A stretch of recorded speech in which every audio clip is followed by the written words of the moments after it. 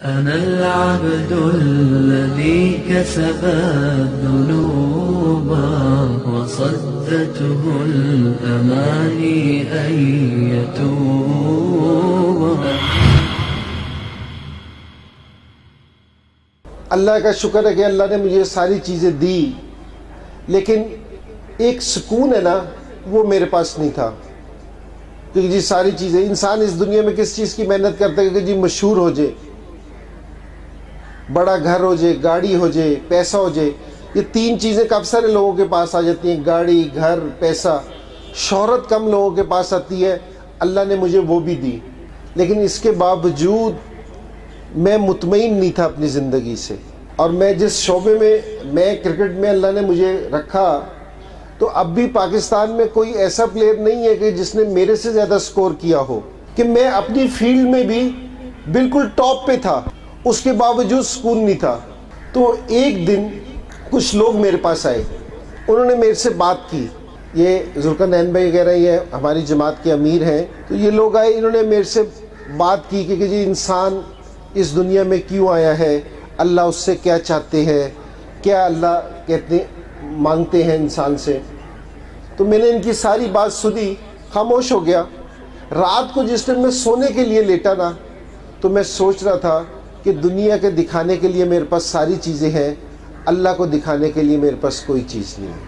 अगर मैं उस हालत में मर जाऊँ तो मेरे से कब्र में ये कोई चीज़ पूछेगा मेरे से आके कि कभी इसको माफ़ कर दो, ये अमीर आदमी है, ये पाकिस्तान का सबसे ज़्यादा स्कोर बनाने वाला है, ये पाकिस्तान का कप्तान है, इसको छोड़ दो।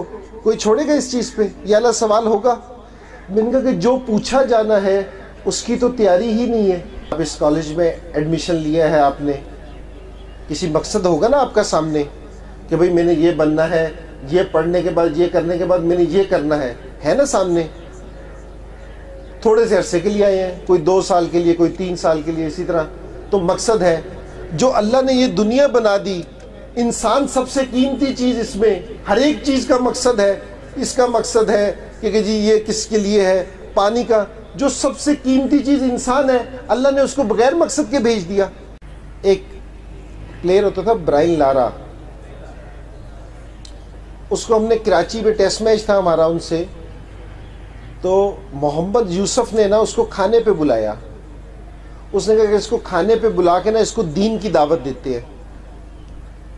तो एक हमारे बुज़ुर्ग हैं कराची के शेख हाशिम साहब। वो अमेरिकन थे तो तीस पैंतीस साल पहले मुसलमान हुए थे। अमेरिका और वेस्ट इंडीज़ करीब है। उन्होंने कहा कि उसको दावत देते हैं इस चीज़ की। उसको दावत दी बताया कि, जी हम अपने अल्लाह के किस तरह बात मानते हैं किस तरह हजूर पाक सल्लल्लाहु अलैहि वसल्लम के तरीके के मुताबिक ज़िंदगी गुजारते हैं किस तरह माँ बाप की बात मानते हैं किस तरह बीवी के साथ मामला करते हैं किस तरह बच्चों की परवरिश करते हैं किस तरह पड़ोसियों का ख्याल रखते हैं किस तरह अपना कारोबार करते हैं, सारी चीज़ें बताई उसको। तो ब्राइन लारा ये सुन के खामोश हो गया थोड़ी देर के लिए। और उसके बाद कहते हैं कि हाँ इसी तरह ही रहना चाहिए। लाइफ इसी तरह गुजारनी चाहिए।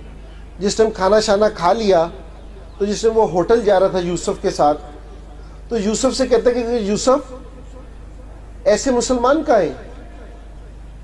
जो इस तरह ज़िंदगी गुजारते हो। सारी बातें अच्छी हैं। लेकिन मुसलमान ही नहीं है ऐसे।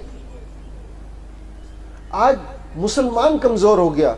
मैं खेलने एक क्लब है लैशिंग इंग्लैंड में होता है, उस, उससे सारी दुनिया के इंटरनेशनल प्लेयर सिर्फ़ खेलते हैं आके। तो मैं भी उस क्लब से खेलता हूँ। तो साल, डेढ़ साल पहले मैं उसकी तरफ़ से जाके खेला तो अब मेरी शक्ल ज़रा चेंज थी। तो उनसे रिलीजन पे भी बात हुई। तो मैं हैरान रह गया। उनको सारा हमारे दीन का भी पता था, हमारी किताबों का भी पता था। उसने कहा कि हमें पता है कि तुम्हारा दीन सही है। गोरे कह रहे हैं, तुम्हारी किताब भी सही है, तुम लोग सही नहीं हो। उसने कहा, जो तुम्हारी किताब में है, उस पर तुम खुद अमल नहीं करते।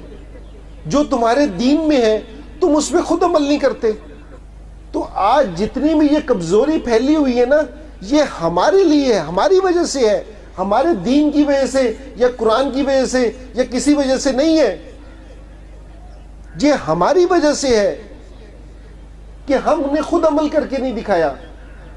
वो मुश्ताक अहमद, अभी वो इंग्लैंड का बॉलिंग कोच भी है, और पहले ससेक्स काउंटी से खेलता था तो उसकी ज़िंदगी में थोड़ा सा दीन आया, उसने नमाज़ पढ़नी शुरू की और सारी चीज़ें शुरू की तो सात गोरे उसके साथ मस्जिद में जाना शुरू हो गए थे। उन्होंने भी कुरान पढ़ा, सारी चीज़ें पढ़ी। जैसे उन्होंने कुरान पढ़ा, हमारा दीन तो उन्होंने देखा कि ये तो सारी चीज़ें सही हैं, ये मुसलमान सारे सही नहीं है। ये मुसलमान सारे, सारा ना इनकी ज़िंदगी में कोई चीज़ नहीं है। तो जी, हमारी अल्लाह के रसूल के जो तरीके हैं ना, जो अल्लाह के रसूल ने चीज़ें हमें बताई हैं, वो क्यामत तक उन तरीकों में ना अल्लाह ने नूर रखा है। जो भी देखेगा ना, जो भी देखेगा, उसकी तरफ़ खिंचता हुआ चलाएगा। हम सारी दुनिया की सारी चीज़ें सीखते हैं। एक अमेरिका से आदमी आया, उसको दावत देने के लिए गए उसके घर पे। तो बड़ा पढ़ा लिखा आदमी था। तो उसने बातें की कि जी, दीन वाले इस तरह हैं, ये इस तरह है, ये इस तरह है। इस तरह काम करना चाहिए। तो वो जो साथी थे तबलीग वाले, उन्होंने कहा कि जी बिल्कुल सही कह रहे हैं कि जी हम तो अनपढ़ लोग हैं, आप आके ज़रा सिखाएँगे तो बात समझ आ जाएगी। अगले दिन वो आ गए उनके पास, उनसे कुछ सूरतें वगैरह सुनी, नमाज़ में जो पढ़ते हैं यूजली उन बेचारों की वाली सूरतें भी सही नहीं थी। मैंने कभी पढ़ी नहीं ना? कभी उस चीज़ पे मेहनत नहीं की। तो वो रोने लग गए। उसने कहा कि मैंने सारा कुछ पढ़ लिया। जो पढ़ने वाली चीज़ थी वो ना पढ़ सका। अगर यहाँ किसी का जिनाजा हो ना, जिनाजा, नमाज़ जिनाजा, अगर उसमें हज़ार लोग हो ना, अल्लाह मेरा गुमान गलत करे, लेकिन साढ़े नौ सौ लोगों को नमाज़ जनाजा की दुआ नहीं आती होगी। मोटी मोटी किताबें याद होंगी। नमाज़ जनाजा की दुआ याद नहीं होगी। एक तीस साल का बेटा, चालीस साल का बेटा अपने बाप की नमाज़ जनाजा नहीं पढ़ सकता। नमाज़ जनाजा क्या है? जाने वाले को आखिरी दुआ है। एक बेटा अपने बाप को दुआ नहीं दे सकता कि जी सीखी नहीं बाकी दूसरी सारी चीज़ें सीख ली। आजकल हमारे माशरे में एक चीज़ बहुत ज़्यादा हो गई है, उसका ज़रा, क्योंकि जी आपस में गालम गलोज, गाली देना एक दूसरे को, जो आपस में दोस्त हैं, वो भी इस चीज़ की बात करते हैं। किसी एक मोमिन मुसलमान को गाली देना ऐसे है जिस तरह खाना काबा को गिरा देने के बराबर। तो जो हम मुसलमान हैं ना हम इस तरह नहीं ज़िंदगी गुजार सकते कि अगर मैं सही हूँ तो ये सही है। अल्लाह के रसूल ने ये चीज़ नहीं हमें समझाई। दूसरों की फ़िक्र में लगे रहना। अगर एक आदमी हमारे साथ रहता है, वो नमाज़ नहीं पढ़ता, हमारे से भी इसका हिसाब किताब होगा कि तुमने इसको कहा।